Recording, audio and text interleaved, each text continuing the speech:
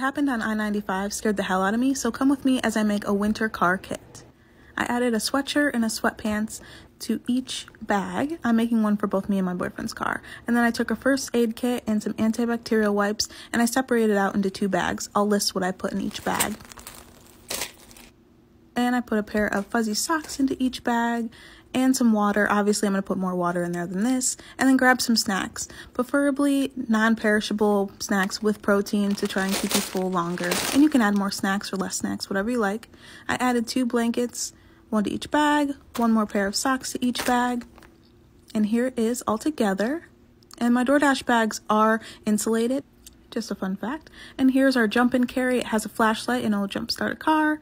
Here's some extra batteries for my I flashlight. I like to keep this on my back seat just in case I'm stranded somewhere and I can't get to my trunk. But most cars you can get to the trunk from the back seat. Just so you know. Hope it helps.